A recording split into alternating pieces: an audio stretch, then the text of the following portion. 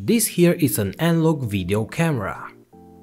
This here is also a camera, but is placed inside of a screw shape, so it could be used as a spy camera of your enemies, those who are stealing your resistors, for example. Anyway, nowadays you can still see these cameras on FPV drones or CCTV systems for security. The video signal out of this is something like this. Might be difficult to understand, but it looks like it has a repetitive pattern. Hmm, interesting, why would that be? In this video I want to make the simplest analog video transmitter and send the signal over the radio frequencies and make our homemade spy camera. This circuit is very easy to make and requires just a few components. I will do my best to explain you how the analog video signal works, more or less. And because I still have my analog black and white TV from the vintage teardown video, let's see if I will be able to receive the video signal and display that on the analog TV. So guys, let's get started.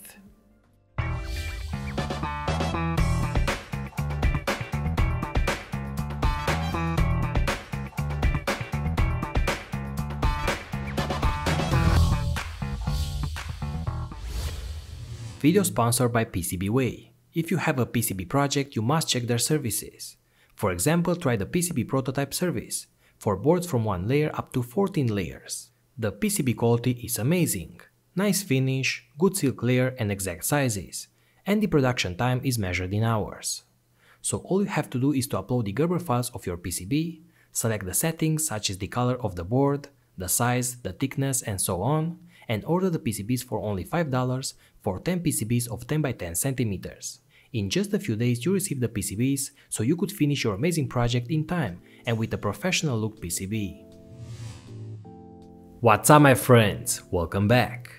Here's what I'm going to do. I will first show you and explain you the analog video signal with the help of my oscilloscope.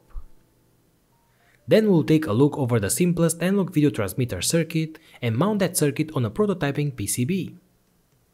Then we connect the signal from these cameras to that circuit and test if we are able to receive anything, so stick around. Okay, so a few months ago I've ordered these analog cameras from AliExpress for just a few dollars. This one is a bit bigger and is mostly for FPV drones, so you can see in real time what the drone is seeing on this kind of goggles.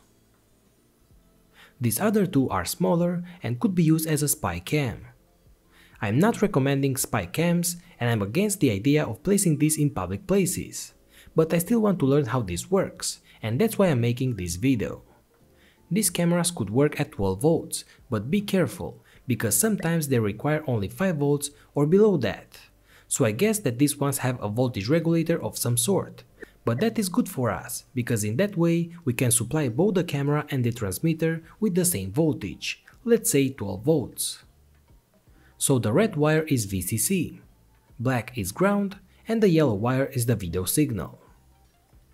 If the camera also has a white cable, that means that it also has a microphone and an audio output. So I connect the yellow cable to my oscilloscope and get this signal. This is the typical analog video signal that was used back in the days with the analog TVs.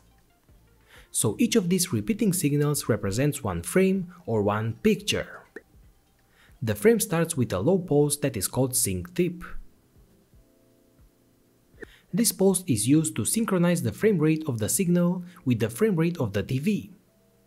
So each time that the TV detects this low pulse, it will know that a new line for a new frame is coming in. The next part of the signal is the so-called color burst, and that's for color TV only, and I'll explain it in a moment. The rest are just the actual pixels of the picture and I put emphasis on pixels because this is analog TV, so we have continuous lines of light, so this part of the signal represents the luminance values. The higher the signal is, the more will the light shine on the TV. So the electron's beam from the TV ray gun will start from the top left corner and depending on this receiver signal, it will change the amount of light, where the low signal represents a dark pixel, and the high signals represents a white pixel and we could get some sort of a gray color in between of those values. But at the same time, this electron's beam is moving line by line over the screen, so those luminance values are now translated to dots of light from the final picture. So if we do this fast enough, we can get the real picture. As you can see if I cover the camera so we have a dark picture, the entire signal is a low value. And if I place a flashlight in front of the camera so the entire picture is white, we get a straight line of high values. Okay, so remember that small burst signal at the beginning of each frame? So these few oscillations will give the TV the oscillator value of the color modulation. If the TV is black and white, will only work with the luminance signal. But if the TV is color, it also needs the RGB information. So if I make a zoom, we can see that luminous signal that has another signal overlapped, and this is at a way higher frequency, and that has the information about the color. So using this color sync burst, the TV locks on that frequency and then can demodulate the color information as well.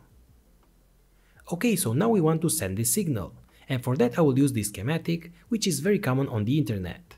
So just google analog video transmitter and you will get a lot of circuits like this one. Since we are only sending the video signal, we can get rid of the audio part, but if you also want to send the audio, you can use the full schematic. Okay, so as you can see, we need some resistors, capacitors, a coil, a small NPN transistor, a potentiometer, a diode, and a wire for the antenna. I get a prototyping PCB and I start soldering all the components. But first, what is each block doing inside of the circuit? Well, the coil and the capacitor is creating a so-called LC tank. This part, as we have seen in so many previous tutorials, will resonate at a specific frequency. That frequency will be our carrier, and it must be at high frequencies, since the very high band of the analog TV works between 174 MHz and 216 MHz. Then we take the video signal input and we can make the convolution with this carrier. So now the high frequency signal will carry our video signal, and since we have the antenna connected, this will create an electromagnetic wave, which are basically radio waves, and now the TV can read that signal and make the demodulation process, and show the pictures on the screen. If you want to know how this analog TV works, watch my previous vintage teardown video. Also, instead of the LC tank to create the carrier frequency, some circuits are using a crystal oscillator with a specific frequency. You could also try that if you want. To make the coil I get some copper wire and I make 3 loops of 8mm diameter. Then you peel the enamel from the tips and add some solder. I first mounted the circuit on a breadboard and instead of the 30 picofarad capacitor, I've used a variable capacitor. So in that way I was able to test the circuit for the best results. And then I measured the capacitor and it was around 30 picofarad, so that's why I've used that value for the final circuit. So I soldered all the components.